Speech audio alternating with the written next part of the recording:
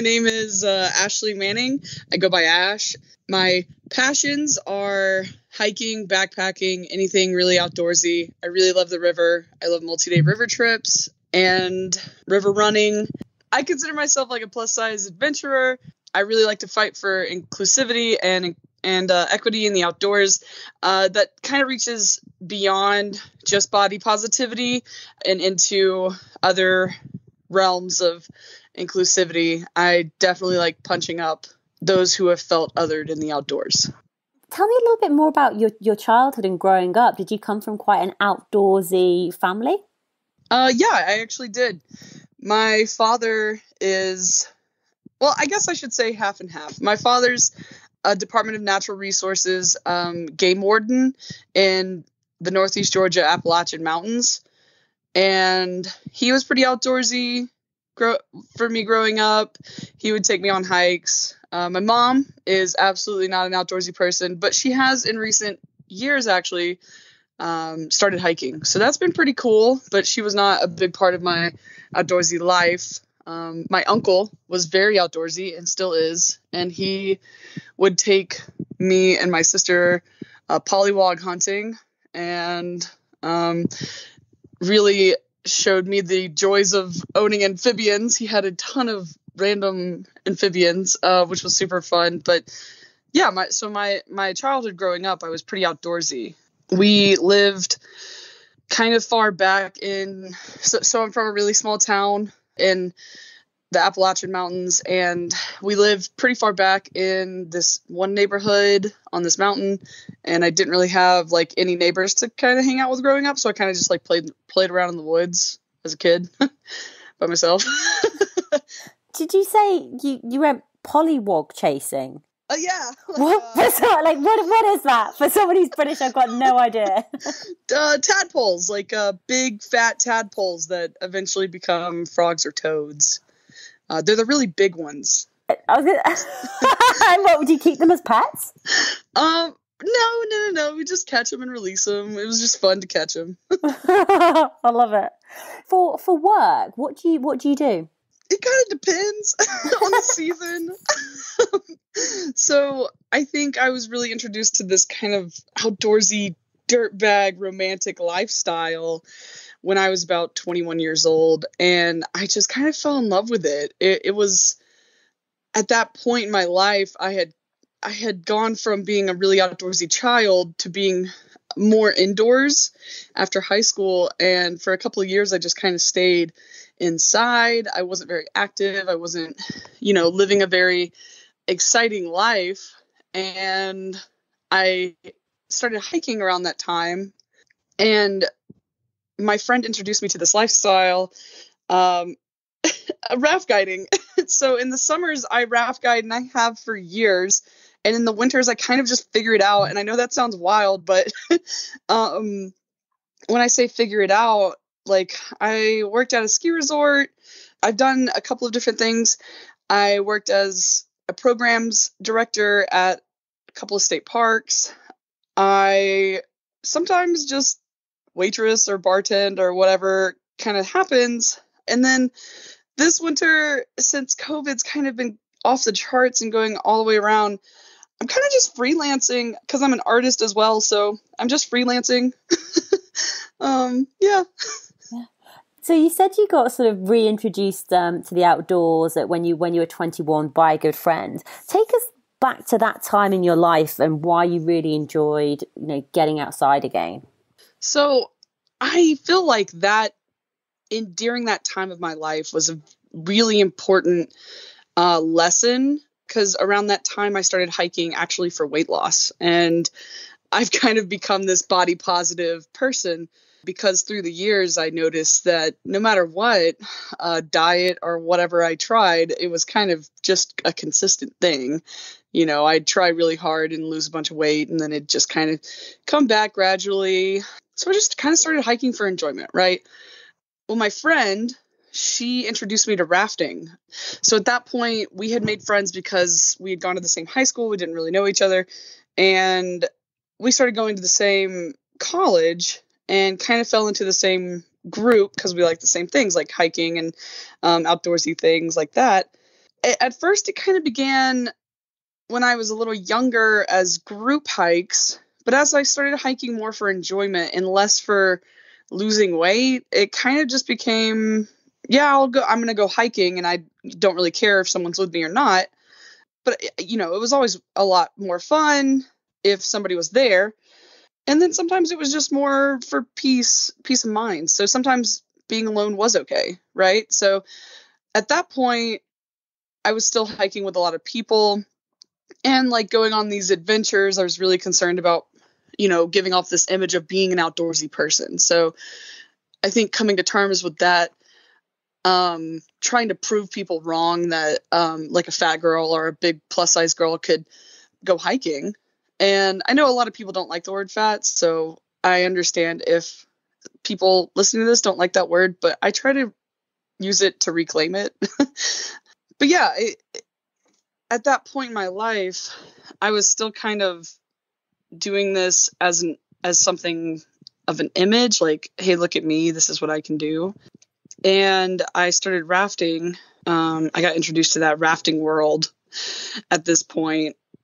And i think i just continued to tumble down this outdoorsy lifestyle road.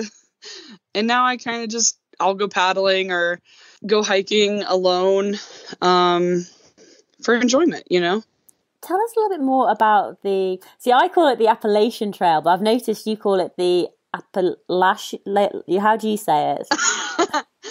so, Appalachian. Appalachian, yeah. Which is the correct pronunciation? Have I been pronouncing it wrong for years? I think it, there's a saying down here in in the South, um, in uh in Georgia in the southern states is um, it's it's not Appalachian. I'll throw an Appalachia if you say Appalachian, but it's Appalachian. It doesn't really matter. I don't really care. we'll just call it the AT, hiking on the AT. Yeah, sure. sure, yeah. So tell us a little bit more about your dream to go and hike on the AT. When I was a kid, I remember my dad picking up through hikers and giving them rides into town or talking about them because he kind of it was his job to kind of patrol around there. You know, he was the Department of Natural Resources guy. And I remember hearing about it a lot. And I had this big dream. I think so. My cousin was a huge influence because she always said that she wanted to hike the AT when I was younger. And uh, my cousin Michelle was a huge influence in my life overall she was super quirky and fun and um or she still is. Um but she she kept talking about hiking the AT hiking the AT and I think she will someday.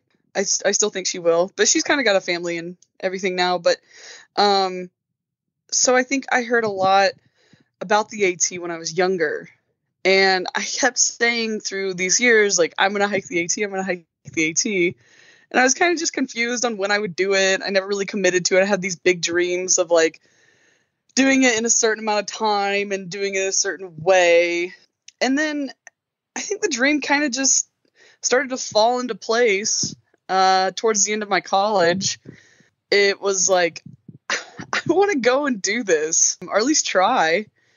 And I, I was very motivated to make it to the end, and I, I uh, I made this plan kind of roughly the year before uh, I was still in college and everything, and I was trying to work and save up for the AT. I was very motivated. And when I graduated, it was about two and a half months after I graduated college, I set out on the AT. Because I love what you said there. You said the dream fell into place. So, obviously, you know, this is something you've dreamed about for a long time. You put a rough plan into place, you've graduated college what happened in those months in in between? You know, getting yourself prepared, getting yourself ready. What sort of you know research were you doing? How how did you make that dream a reality? It's funny you say that. The first thing that popped into my mind was kind of this feeling of shame, and I've I've actually broached this topic before on other podcasts. Um, during the there was a couple months right after like that in between time of right after graduating and then right before hiking the AT, where I was working and that was it. And I'd like to sit here and say I was hiking my butt off and exercising and mentally preparing and all of this stuff for the AT, but I wasn't. I was really nervous and I was super depressed. And because I had worked for, you know, I'd gone into college right out of high school, and for uh, seven years I had worked to put myself through college and stay out of debt and try to save money and this that and the other. So i was kind of on this like full schedule where i never slept. I never um, really took care of myself properly. And if i had a little bit of time i was going hiking. And so all of a sudden i had all this time fall into my lap and i just wanted to fill it up with work. But it was hard because you can only work so much i guess and I, I, was telling myself that I needed to train for the AT so that all my extra time would be spent training for the AT. But in reality, all that extra time was spent get being worried and um, being concerned. And I I laid in bed for. I remember having like three days off at one point, and I just laid in bed like the whole time, just just like scared and worried. And I didn't really know was this something I really wanted to do? Am I just doing it? like to please other people or am I really doing it for myself? So there was a lot of like self reflection during those times, but but there wasn't really a lot of like prep. And I think that that's a little disappointing probably for some people to hear, but there just wasn't a lot of prep and I I was very like ashamed of myself, very disappointed in myself. But I will say what I learned from that was that nothing will really prepare you for the Appalachian Trail like doing the Appalachian Trail. I mean, I had met people that had trained for months, years, training their body, going upstairs, running stairs, doing stairs in the gym, hiking, going up hills, down hills, etc., etc. And they still didn't feel prepared for the AT. I mean, it's great if some people do. That's awesome. But I think with long distance hiking, nothing's going to condition your body like long distance hiking. If you can't devote eight hours a day to hiking, then you probably won't be super, super physically prepared for exactly what's about to happen to your body, you know? Yeah. It's, it's really interesting that the self reflection was starting almost before you even got out onto onto the trail and and you used you know, so some of those words like, you know, feeling scared and, and worried and, and concerned about what other people were going to think about you and, you know, being nervous and, and depressed and having this, this full schedule, which to be honest sounds exhausting. Like, you know, seven, seven years of college, working a job at the same time, you know, trying not to, to get into debt. Like, I'm exhausted, you know, trying to, trying to imagine what that must be like, but you still, you still got yourself to the start line, which I think is a huge, huge achievement. What was it like on the start line for you? When I kind of announced that I was going to hike the AT, I had a friend who I never worked with at the company I was rafting at, but she had worked there previously and we kind of knew each other through that aspect of the company.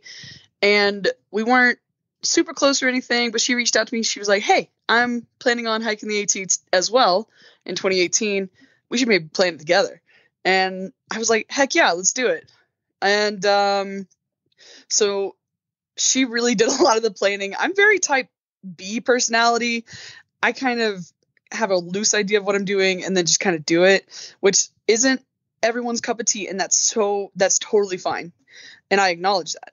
But I was super stoked. Lindsay was you know, making this uh, beautiful Excel sheet. She had an idea of where we were going to be, when we were going to be there, and where to send packages. It was amazing the amount of work she put into it. I really was impressed and was like, whoa, this is next level and gorgeous.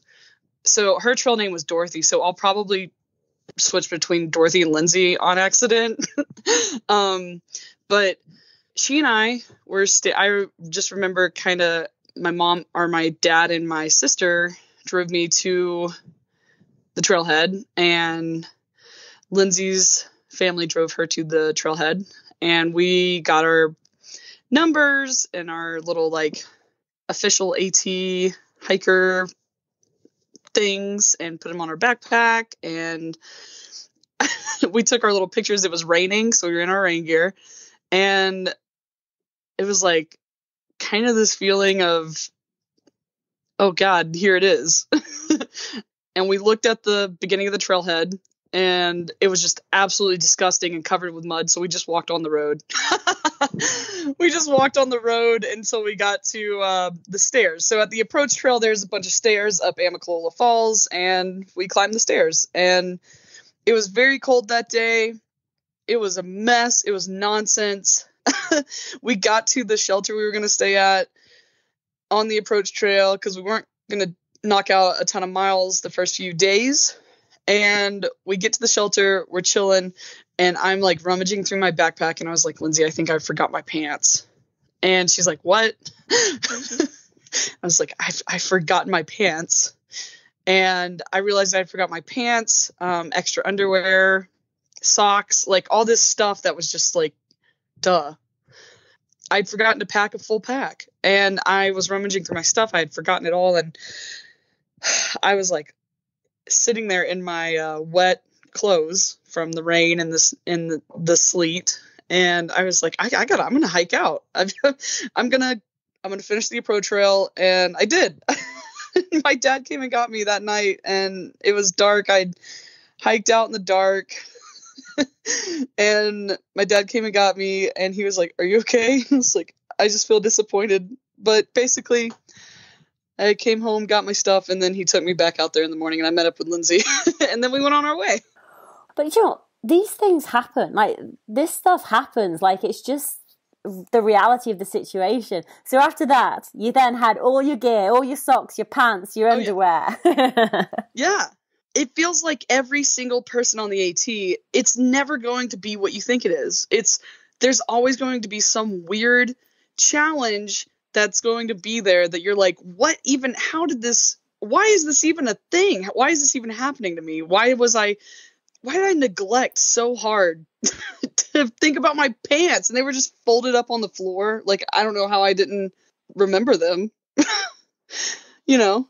You obviously had a dream about the Appalachian Trail and, what it was going to be like what was the reality like for you out there like did it did it exceed your expectations did it was it just like this is not what i not this is not what i dreamed about like this is not what i was expecting you know i think i think a lot of people go through this.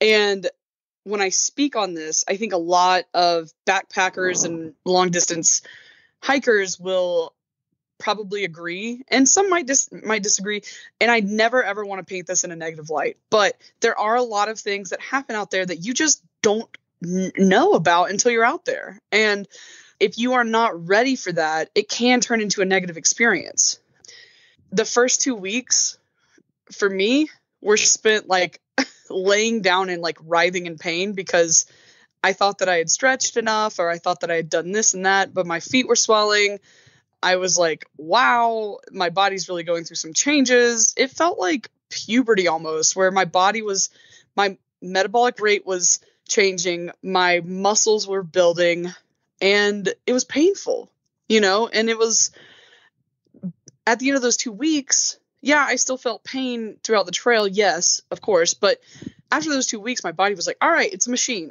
I'm a machine now.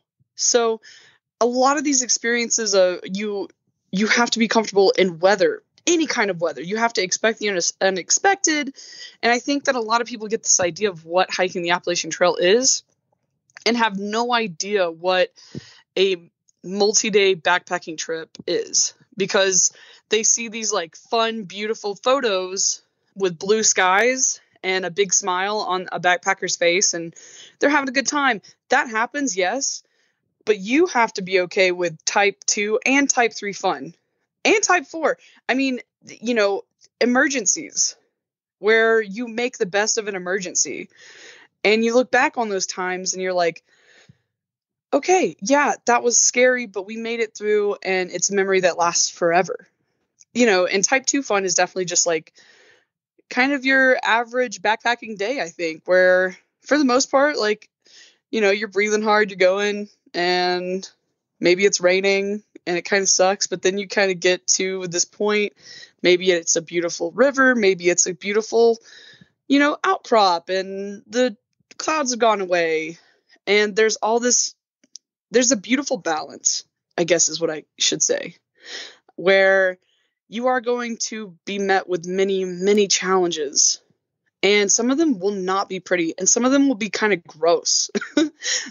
but it's all worth it, you know? It's, um, sometimes you get the fun, beautiful picture with the blue skies and the big happy face, but sometimes you poop your pants because you have giardia, you know?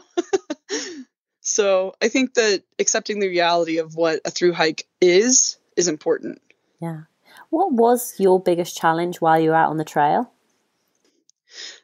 So I did get giardia, and that's the big reason why I came off the trail but that's I'm I'm gonna push that to the side because that's a pretty obvious big challenge. But uh, I think my biggest challenge was kind of my mental health in the Smokies. So that's like not too far up the trail, but in the Smokies I had several breakdowns. I thought that I was going to leave. It kept freezing over. There was like ice storms and snowstorms. It kept happening and I was really annoyed. like I felt like I could never get warm and I was like tired of sleeping in shelters, crammed up next to some stranger and I was like I'm sick of this.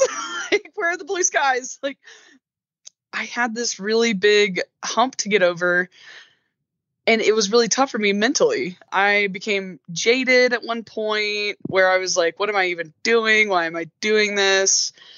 And I think I also was very, like, as far as dealing with my own personal issues, um, I am very good at kind of pushing it down and like not addressing them. But when you're kind of out there in the middle of nowhere with no one but yourself to think, uh, like, talk to, I guess, like, I was just constantly thinking, you know, I did hike with people here and there, but for the most part, people have different paces. They hike differently, and we'll just meet up at camp, right?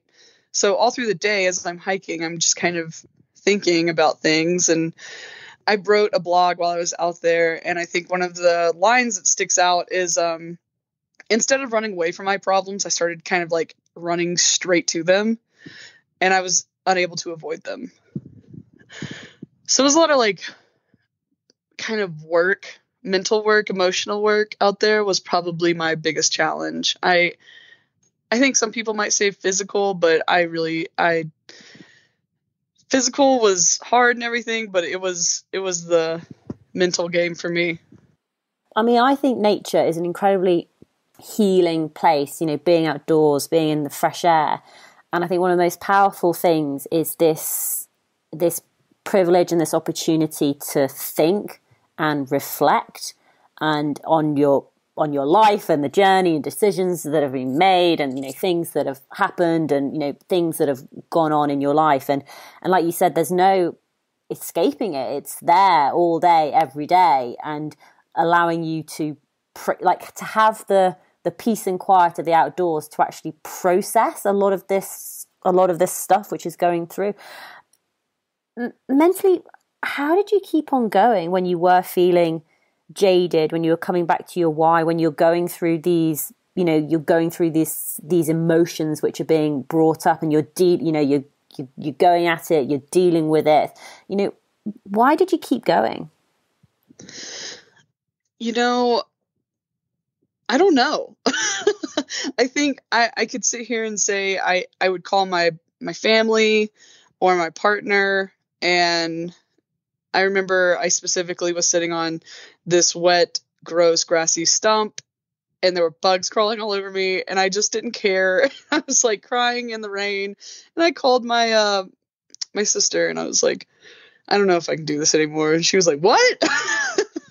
You've been dreaming of this forever, you know? Come on." And I was like, "I don't know, you know." And the encouragement of others is definitely a, a huge factor. So I'm I'm not saying that they didn't help at all, but at the end of the day, whenever I did want to come off the AT, no one was going to stop me. I think honestly, it was just like in the times that I wanted to quit so bad, and in the times that I would say out loud, I'm going to quit, I would think about quitting and what that meant for me and where I'd go and what I'd do. So I would go back to raft guiding, which I eventually did later on that summer. And I thought about how disappointed I'd, I'd feel in myself if I just came off the trail. Eventually, I kind of stopped feeling this way. I stopped feeling about disappointment and started realizing that I was just having a good time being out there. So when so it stopped being about oh you're going to be disappointed in yourself and started being about you're going to miss the trail. So at first, especially in the Smokies, I was like you're going to be so disappointed in yourself if you stop now. But honestly, kind of looking back, if I would have stopped at mile 300 or whatever, I would have been proud of myself for walking for 300 miles. At some point, I probably wouldn't have been just then because even when I did leave the trail almost at a thousand miles, I was really disappointed in myself. But how can you sit back and say, I'm disappointed in myself after walking from Georgia to almost West Virginia? Like, how can I sit here and say I'm disappointed in myself for walking that far? And how can anybody have the right to tell me that I should be disappointed in myself or they're disappointed in me for literally walking that far? I, you know, at that point, at the point of like coming off the trail, I was just sad that I was leaving trail. And I think maybe some through hikers go through this where no longer are they going to feel disappointed in themselves, but rather uh, sad to leave the trail. Yeah. Tell everyone what your trail name was, is. Ah, uh, my trail name is Yard Sale. so tell us the reason why. okay, so I did not want to take this name, but it's it's cute. I was named by a man named CC. So CC was this older gentleman who had hiked the PCT, I think twice, and was on the AT, and he was with um, a couple of other hikers, Stickman, Frog, oh gosh, a couple of other ones too, and they were really sweet. Me and Dorothy loved them, but I got to camp one day and I was pretty notorious for this. I would just kind of like get to camp and turn my bag upside down and shake it out and just all my crap would just come flying out of the backpack. Um, so I I said out loud, "Sorry for the yard sale." and CC was like, "Well, that's a trail name." And they had been trying to name me all day long. And people kept trying to name me and I think trail name culture is so interesting. Like, if you don't have a trail name, people are going to try to name you. And it's interesting because you don't always have to take the first trail name that comes to you. I didn't. Somebody tried to call me John Lennon. Another person tried to call me Groovy. It's not my personality at all. and also, like, you can claim the name for yourself. But Yard Sale kind of stuck because there was like a couple of other people camped there and they overheard. And I think when you are othered on the AT or long distance trail, meaning you are not a small white person. Don't know how else to say it. Um, I, I stood out. Like, you know, I was, I'm bigger. It was very obvious when I came into camp that I was yard sale because I was plus size, right? So a lot of people heard it. It kind of stuck. I claimed it. I kind of owned it. It's I stopped being ashamed of it. It was kind of fun. did you end up getting a trail family? I did. So um, Dorothy and I eventually split. There was no hard feelings there. We just were on two different paths she was a lot quicker of a hiker than I, and um, she had a goal and she was going to reach it. And you know, I was more like, I like to linger. I like to just kind of sit by a stream and watch the water sometimes. so she would get to camp really early, and I'd be rolling in like five hours after her. But we eventually split, and I hiked by myself for a couple of days I think about a week maybe. I'm not really sure. But at one point, and I had kind of bounced back and forth with seeing this one crew of people. And that crew of people included Mountain Cat, Cobra, Leslie Knope, Sparky, and Bunyan. And they kind of became my crew at one point. And Sparky and Bunyan kind of came and went, but Sparky I I remember seeing him in a field one time. I was camped out in the field all all by myself, and he walked by and he was like, "Hey, what are you doing?" I was like, "What? Hi." Um, and yeah, I think the next day after that, I kind of met up with them, and I was like, "Can I be part of your crew or something?" And they were stoked, and I was stoked, and kind of from then on out, or then until I left, uh, I was with them, and it was honestly like the bond you create with the people that you hike with is really intense. And I, I really love these folks. And I'm actually hoping uh, here very soon. So Mountain Cat and Cobra are hiking the AT again. They started in Canada and they're hiking down and they're getting closer to Georgia. So in about a month, I will be back with M- Mountain Cat and Cobra hiking with them for the Georgia section. Talk us through your, your day, like an average day while you were out on trail. I'm going to explain like my average day once I became a little more experienced, and then I might tell you what my day used to look like. So I would wake up typically around 5:30 in the morning, and that was just honestly natural. It became pretty natural at one point. That was when the sun would begin to rise and the birds would start to chirp. So I'd wake up around 5:30. I'd get up and I'd drink a little bit of water and I'd pack all my stuff up and start hiking. I would not make breakfast because I typically would not be hungry at all at that point. And I'd start hiking and my hunger would start to kind of kick in about an hour after hiking. So I'd sit down, find a nice place somewhere. I'd usually try to hike to a water source, is what I would try to do. Find a water source about an hour away from my campsite. If I couldn't, that's that's okay. But I try to eat near a water source uh, my breakfast, and my breakfast usually consisted of something like a Clif Bar and a protein drink. So I I'd carry protein powder, and this was I can't remember if Mountain Cat or Cobra came up with this, but it was a game changer. Carrying protein powder was such a great idea. It was it was really great. So I'd I'd uh, fill up the little baggie of protein powder with water and drink that down. Eat a Clif Bar or some kind of bar.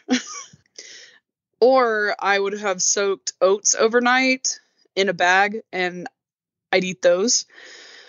And then I'd drink a bunch of water, try to fill up my water source for the day and get going. So that was kind of breakfast. And then throughout the day, I never really had like a lunch time, really, quote unquote. If I did, it would just be trying to time out like I'd try to get to some place that was fun to be at for the middle of the day to have, you know, quote unquote lunch. But I typically just kind of eat every hour throughout the day. I'm not talking like huge meals. It was usually like a bar or oatmeal or something of the sort.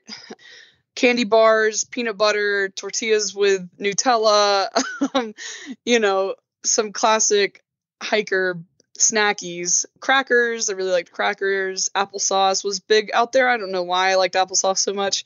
Um, but I, I, was really big when we would get into town. I really wanted fruit, fruit and veggies because it's hard to carry that stuff out there. So at the end of the day, hopefully I would have met back up with my trail family and we're all at a campsite and hanging out. And usually we'd all kind of hang out, maybe make a fire if we felt so inclined. And Sparky and Cobra were really, they hung their bear hangs really high. So it was always like really fun watching them just get their bear hangs insanely high. So that would happen. And then we'd eat dinner or something of the sort. And dinner was usually like the, the massive meal that I would eat. So I do like, you know, big carb bombs. Like, um, I do like a mountain house meal mixed with ramen noodles or maybe I do ramen noodles with um, a pack of dried potatoes. And sometimes it's it's kind of weird because sometimes your appetite is like out of control and sometimes it's not really there at all. So if my appetite wasn't really there at all, I'd try to eat or drink some kind of protein to finish the day. How was it getting your gear together? Was it easy to find gear that was comfortable? Oh, um, so I was part of the Thru Hike Syndicate. I was given gear, my backpack, my sleeping bag, my tent by the Thru Hike Syndicate.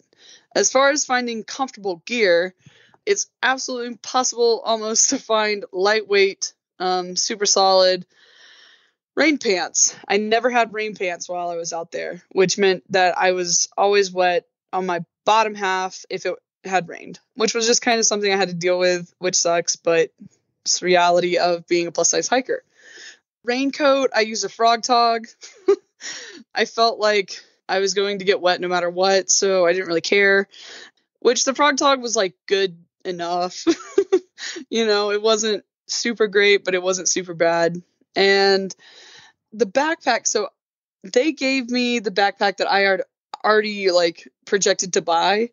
Um, it's an Osprey pack, and their 2018 Aurora um, model was was pretty good. I mean, I hiked with it all the way to know, the end, and I still use it to this day. However, I will say that their belt size isn't very inclusive at that model. Size inclusive, I, sh- I should say. Uh, it only goes out to a certain fit, and when I first began the trail, it did not fit very well. I have never had a backpack that sits on my hips. It always sits above my hips on um, on my waist because my hips are too large. And most backpacks, including this one, dig into the into my back because I have a dump truck of an ass and it is literally it will just dig into the back of my body like right on the top of my butt so i actually have scars on the top of my butt where it chafed me consistently all 982 miles. it's pretty cool that you got sponsorship. How did that work? I just kind of started applying to all of them, and I didn't expect to get any of them because a lot of people don't put a lot of faith in plus size hikers. So I figured out that I'm kind of a decent writer. uh, I didn't really know this. I'm okay. I'm an okay writer, and I I think I probably wrote a pretty compelling reason as to why the Thru Hikes Syndicate should sponsor me. The Thru Hike Syndicate's great. They work on trying to be more inclusive to people in the outdoors. They still have a little work to do, I will say that. But yeah, they they work on inclusion and I think they saw me as an opportunity to have a plus size hire on there. And um, so that's how that came about. Yeah. You left the trail after 982 miles. Was that because of the, I've forgotten the word, the Giardia, the shits, the vomiting yes. and the shits? Yeah. yes, it was the shits. It was, it, so it was partially the poo poo. I started getting very sick and I, my poor trail family. I woke up one night and like had pooped my pants and we were at a brewery camped outside of the brewery and I was throwing up and just like like so sick. And I I remember like telling them the next day, I was like, guys, I am very sick. I don't know what's going on. I thought I just had like norovirus. So I kept hiking. I kept hiking for about a week and it just kept getting like worse and I couldn't keep food down. We'd go to resupply and I just have just as much food as I had, you know, when I started. And it was like, ah, I don't know, like what's going on with me. I was getting really weak. My mental health was deteriorating quick. And so I thought about coming off trail and staying at a hostel in uh, Ferry, but honestly, I just didn't have the money at all. I had probably just enough to make it to the end if I really wanted to, but that did not include hostels at all. And it definitely didn't include two weeks of being in a hostel waiting for a Giardia to settle down. So I think with that whole thing, it was a mixture of yes, I was sick, I did not have the funds to go get better and be away from home. And also, due to the dehydration, due to the lack of eating, and due to being sick, my mental health was just really deteriorating. So it was a mixture of all three. And then, kind of to tack a little bit on, my uncle had passed away uh, while I was out there. And I was feeling very guilty about not being home for my mom and my aunt. And I was not home for his funeral either. So I was feeling a little guilt about that. So the decision ultimately was made to go home and just kind of rest up and see where I was at. I was planning on trying to work a little bit, get some money, and maybe meet back up with my trail family. But that didn't happen. How long were you out on the trail for? Um, about three and a half months. It's a long time, like Yeah. to, to be out in the to be out in the in the woods for, for that length of time. How was it after recovering? Did um, you know get, getting better? Were you able to look back with a sense of accomplishment and and to see like, do you know what? I walked a thousand miles on the, or you know, nine hundred eighty-two miles on the Appalachian Trail. Like, did you feel that? Or do you, feel that now? So now I definitely feel it. So when I came back home, my mom had to come get me. It felt like such a defeat because I was like, "Mom, can you come get me from Virginia? I'm I'm done." And we tried to find like a bus or a plane ticket or something, but I had lost my uh, ID somewhere. So my mom, such a sweet sweetheart, she drove all the way up, grabbed me, and drove me back. And she she was like, "Girl, why did you lose your ID?" but so I, when I first came back, you know, I honestly I cried for most of the like 8 hours of driving for my mom. I was like crying and just like upset and oof, oof, when I think about it I get a little emotional, but my mom was just like oh, you know, um, it's okay. You don't you don't have to cry. And I was like, I can't stop crying. So I felt very defeated, and I felt very disappointed and sad. I was really sad that I was leaving the trail. I was sad I was leaving my friends. I was sad that I wouldn't reach Katahdin. I was sad. I was so sad. And when I got back initially, I started raft guiding again. After I kind of recovered a little bit, I was still actually kind of sick when I was raft guiding again. And then I, I guided for a while. I was trying to get more money, recover, and then I was going to return to the trail. And I tore my ACL raft guiding. I completely like I was on a trip and during that trip my knee was just totally obliterated. So there was no way I was going back on the trail that year. Um, I had to have surgery. It was honestly a really, really like hard time. I had gone from starting 2018 by hiking the Appalachian Trail and coming back and raft guiding. Mind you, I'm insanely like physically active at this point and then it was just nothing. I couldn't move. And that was a really hard part of my life was watching my trail family reach katahdin and being really proud of them and happy for them but knowing that i was supposed to be there with them. Yeah. How's your acl now? Have you recovered yeah i had surgery uh, later on that year and recovered it still you know hurts here and there but I think that's just kind of part of it is like, you know, if I do really long hikes, it, you know, it hurts, gives me a little bit of trouble, but it's definitely recovered and I'm hiking now and I'm trying to uh, get it together to where I can finish the AT. yeah. You've already done a massive chunk of it, so it's almost just um, like section hiking. You've done, you know, you've done your first section. Yeah. When, when do you think you'll get back out there? I know it's difficult, difficult with COVID and everything else, but have you got plans to, to do that at some point in the future? I definitely wanted to get back out there this year, but I don't think that is going to be an option, at least for a while, because of COVID. Yeah. I might try to see what's going on towards the later half of the year and see. It might be kind of a spur of the moment type of deal. you know, it might be like, all right, well, I'm going and then go. But it also could be something that happens in 2022 or 2023. I do want to get back out there and I do want to hike the rest of the AT. I also want to do a couple of other long distance hikes. You know, I think that a big part of the past couple of years for me has just been like, when is this uh, knee going to heal? And it's like a, you know, I've definitely passed my 18 months of recovery, but it's, it, it was still like those 18 months were just like me being like, oh my god, when can when can I hike? You know, I when can I go? When can I go? And I was testing the limits like all the time. Ashley, what advice would you have for for other hikers who you know they want to get out there, they want to get out and spend more time in the outdoors, on trails, in the mountains? You know, what what are your top tips and advice? I would say don't be afraid to go out there. I think that a big misconception that is thought about is how absolutely horrifyingly dangerous it is to go hiking and go backpacking. I think a big response that I got whenever I'd tell people that I was hiking the AT is, Are you going to bring a gun? Is that safe?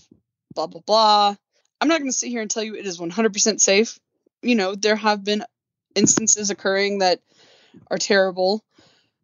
But if you focus on the terrible things that have happened the few amount of times and not the big picture, then you're going to scare yourself. Don't be scared. I think go out there with enough caution, be aware of your surroundings, but you know, go out there and do your thing. It's uh, not a big deal. You know, I think being prepared is really um, important. You know, being prepared with the right kind of gear, the right kind of clothing, and the right kind of aid if you need it. So taking into to account like where are you and what kind of environment are you in? How far away is help? Do you have phone service? Do you need a satellite phone? How long will you be out there? I think that there's lots of ways to be prepared. And don't let anybody tell you that you're overprepared unless it is absolutely harming you. Like if you have a metal path that you're carrying and it's not necessary. But, you know, if you're overprepared, quote unquote, for a day hike, it's probably okay. Like, don't let anyone judge you for being overprepared. You know, if someone falls and hurts themselves and you've got the satellite phone and there's no service around, then that's awesome, you know? And actually, where's the best place for people to find more information about you, to follow your journeys online? Where should they go? I have an Instagram, Ashley's Adventure is the Instagram. I'm working on a website right now. Uh, I don't have it up, so unfortunately, I can't give you the domain, but I will be posting that when it's up. I'm also going to be posting some uh, content on TikTok here soon, and you can find that it's uh it is also Ashley's Adventure on TikTok and and you can also find more information on these sort of things that I'm really passionate about on like unlikely hikers. That's a page and a website I really suggest following and I love the person that runs it. Her name uh, is Jenny Bruso. And so that's really where I'm active. Perfect. I'll make sure that I add the links to your Instagram, to your TikTok, and to the Unlikely Hikers Instagram and web page as well. Um, but Ashley, thank you so much for coming on Tough Girl Podcast and sharing more about your passion and love for the outdoors. It's been awesome to speak with you. Absolutely. Thank you so much for having me. I really enjoyed it.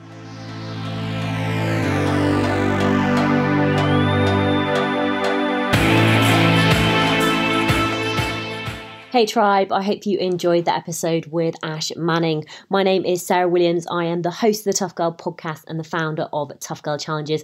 I do like to keep things simple, which is why for quite a few of the episodes there isn't actually any introduction at the very beginning. It's about seven seconds of music and we just get straight to the episode because I just want to give you quality content. I want you to hear these incredible stories and amazing women. And I'm just so excited to all of our new listeners who are joining us today. So thank you so much for tuning in. You can find more information about, about me and my background and what the mission is for Tough Girl Challenges, which is to increase the amount of female role models in the media. And if you go and visit toughgirlchallenges.com, you can find loads more information. Just want to say a big thank you to Donna Gavin and Rowena Harding, who have both signed up to be patrons of the Tough Girl podcast. So thank you so much. The Tough Girl podcast is sponsorship and ad free, and that's thanks to these individual patrons around the world who are supporting the work that I do. So I really do appreciate every single patron. We're around 269 patrons at the moment, which is absolutely fantastic. So hopefully we will get back up to 270, then 280, then 290, and we'll hit the magic of 300 patrons, which would be incredible. Just want to do, um, well, two quick mentions really. Ashley talked about it during the podcast. She mentioned Unlikely Hikers. Please do go and give them a follow on Instagram. The links are all in the show notes. And they also have a podcast as well. And Ashley's been on on episode eight. I always think it's really fascinating to listen to the same guests sort of being interviewed because different interviewers bring out different questions. Well, they ask different questions, they have different views, different perspectives. And so it'll be quite fascinating to listen to that episode as well. Talking about brand new podcasts, I've got another podcast for your list as well. It's called Living Life Differently. So let me just tell you a little bit more about it. So, if you've ever wanted to live life a bit differently but feel stuck and unable to take the leap of faith, then be inspired by the Living Life Differently podcast. Ali and Amy speak with different women who live alternative lifestyles, from someone who packed up a 400 pound ex builder's van and moved to France to another woman who lives life as a bicycle nomad. Their guests share personal insights into the way they live life differently and their journey of how they got there.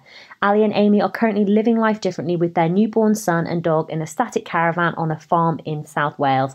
They are patiently waiting to start a European camper van adventure once the pandemic restrictions ease up. So I've listened to the first episode, absolutely loved it. So well done, Ali and Amy. And Ali is Ali Mahoney Johnson, who I met.